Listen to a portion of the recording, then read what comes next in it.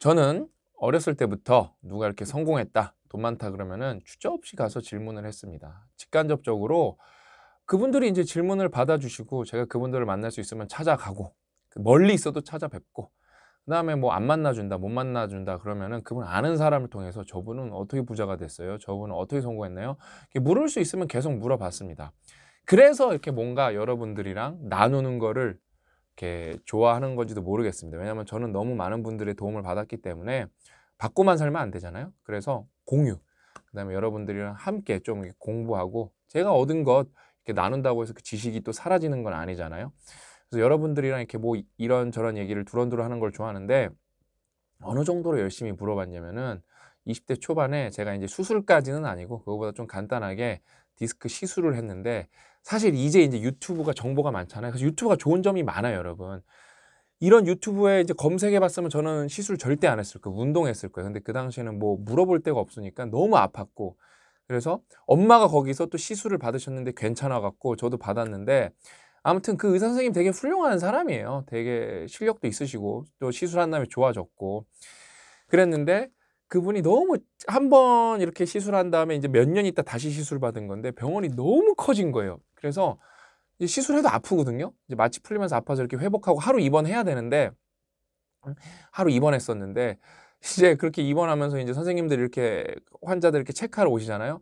그러면서 뭐 어떠냐 어떠냐 이런 거 물어보는데 저는 그 업, 진짜 아픈 상황인데 궁금함이 생각나서 이제 선생님 오셨길래 제가 질문한 거예요. 선생님 어떻게 이렇게 병원을 성공하시고 어떻게 이렇게 돈을 많이 버셨나요? 그러니까 그 선생님이 너무 웃겼는지 이렇게 손사래를 치시면서 정확하게 답변이 기억납니다. 이거 다 빚입니다. 어 그러면서. 그러면서 또 이제 태어난 다음에 다시 찾아갔을 때도 아 선생님 뭐 진짜 대단하신 것 같다고. 그러니까 그때도 또 아니라고 그냥 운이 좋았다고 막 이런 얘기 듣고 했었고 또 되게 특이한 얘기가 많아요 저는요. 저는 진짜 성공했다는 분 있으면 어떻게든 찾아갔거든요. 어느 정도로 찾아갔냐면은 이렇게 군대 있을 때 소대장이 저보다 이제 몇 살 형이겠죠?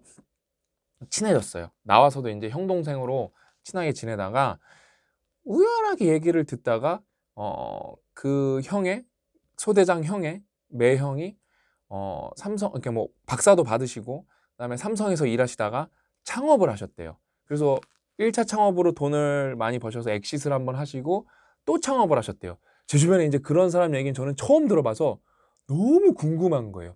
예? exit를 한 얘기도 너무 궁금을 하고 예? 되게 옛날 일이거든요. 벌써 십몇 년도 더 된 일이에요 이게. 예? 그러니까 막 이렇게 너무 궁금한 거예요 그거에 대해서. 한 10년 됐네요 10년. 예? 그러니까 너무 궁금해서 그분을 찾아가서 아 그러니까 우리 소대장이 저를 너무 좋게 봐줘갖고 소대장 형이 이제 매형이랑 같이 해서 분당 사시거든요. 미금 사시는데 거기서 만나서 밥도 먹고 얘기하고 사무실도 한번 찾아가서 그때는 사무실이 수원 어디 이렇게 무슨 지식 단지 같은 데 있었는데 첨단 단지 같은 데 있어서 거기서 그분이 그때 이제 중국 음식도 샀던 기억이 나네요. 결국 그분 회사는 지금 상장했습니다. 아주 기술 이게 특례라 그러나요? 테슬라식으로 이렇게 상장을 해갖고 열심히 하는 회사인데 제가 이분은 기회 되면은 어, 저희 머니맵이나 비스쿨을 통해서 인터뷰를 한번 해볼 생각입니다. 그렇게 해서 엄청 열심히 진짜 이 정도로 뭐 별의별 걸 다 질문하고 다녔고 응? 그냥 저는 우연찮게 이렇게 만나다가 어 이렇게 좋은 차 탄다 그래서 이렇게 좀 이렇게 대화할 기회가 있다 그러면은 선생님은 어떻게 이렇게 돈을 많이 버셨나요? 선생님 뭐 하시는 분이세요? 그런 거에 좀 꺼리낌이 없었어요. 그래서 제가 이거를 20년 동안 이제 대학생 된 다음부터는 계속 진짜 열심히 질문한 것 같거든요. 그래서 질문을 하고 배운 거는 이제 세 가지 정도가 있는데 첫 번째가 뭐냐면은 이거는 저라서 여러분들한테 좀 말씀드릴 수 있는 것 같습니다. 어, 이분들도 어떻게 성공했는지 잘 모른다. 본인들도. 본인들도 어떻게 성공했는지 잘 모른다. 왜냐면은 설명을 잘 못 하세요. 그러니까 이게 복잡하고 중간에 운과 이런 우연이 많았기 때문에 이거를 정확하게 자기가 성공했다는 거를 이렇게 규정해서 말하기가 쉽지가 않다.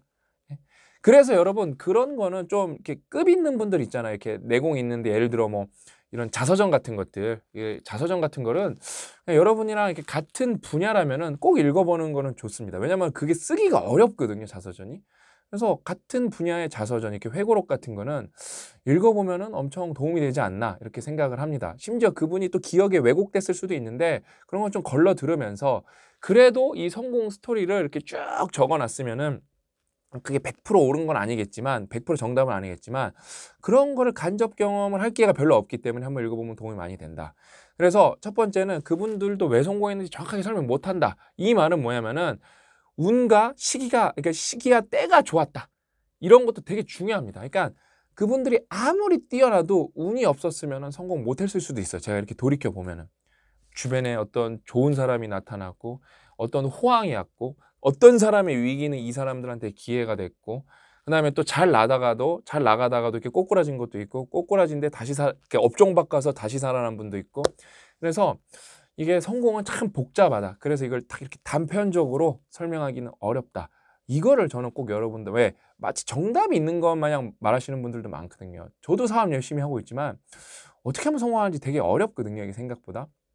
그래서 맥락이 중요하고 복잡게 하니까 운이 중요하고 그래서 복잡계랑 맥락을 저는 계속 얘기하는 거거든요. 그래서 이때는 정답이지만 나중에는 오답일 수도 있고 지금은 오답이지만 나중에 정답일 수도 있는 겁니다. 그다음에 이제 두 번째는 위험 감수 안 한 사람이 거의 없다. 이거는 이제 주식 투자라도 연결되는 거예요. 어떻게 그러니까 뭔가 리스크를 감수하지 않고 여러분 돈을 큰 돈을 벌 수 있는 방법은 없습니다. 그러니까 리스크를 감수하지 않고 돈을 버는 거는 노동으로 이제 여러분의 근로 그다음에 여러분의 어떤 뭐 노하우를 통해서 버는 거지. 그러니까 리스크를 감수를 해야 된다. 특히 사업하면은 많이 해야 된다. 그다음에 그러면 이제 막 주식 투자하시는 분들 그럴 거예요. 맞아 맞아 맞아. 뭐 이런 얘기 하실 거예요. 근데 여러분 이 리스크 감수라는 게 말이 쉽지 그 리스크라는 거는 잠재적 위험인데 이게 여러분 여러분 현실로 들어오죠? 겁나 괴롭습니다. 진짜 죽을 만큼 힘들 수도 있어요. 근데 그거를 버텨야 됩니다. 왜냐하면 리스크 잃을 수도 있기 때문에 벌을 수도 있는 거고 벌을 수 있다는 거는 잃을 수도 있, 는 거거든요. 어? 정말 수십 명 이거를 질문을 해봤죠. 일단 망해본 분이 너무 많아요. 그러면서 망하면서 재기하면서 더 크게 된 분들도 너무 많아요. 이런 걸 이제 전형적인 antifragile이거든요. 충격에 강화된 경우. 대표적으로 그렇게 망해서 다시 일어섰을 때 정말 10배 잘 되는 사람이 저희 아버지. 그러니까 저는 이런 사례를 그러니까 일반인 분들이 좀 접하기 힘든 사례를 일찍 배워서 그러니까 일찍 뭐 엄청 일찍은 아니고 뭐 20대 때 사업을 한 건 아니지만 그래도 저는 좀 이렇게 깊게 공부도 해보고 싶었거든요. 어떤 면에서는 그래서 박사도 받고 그다음에 인생 길기 때문에 대기업에서는 이 대기업 돌아가는 시스템이 너무 궁금했기 때문에 그래도 우리나라 최고의 기업인 이제 삼성 이제 디스플레이에서 디스플레이선은 삼성 디스플레이 뭐 글로벌 원탑이거든요. 그런 데서 일해 보면서 시스템도 많이 배우고 대기업의 좀 장단점도 깨닫고 그래서 그거 감안해서도 저는 되게 일찍 사업을 시작한 편이거든요. 어, 뭐 30대 초중반부터 했으니까.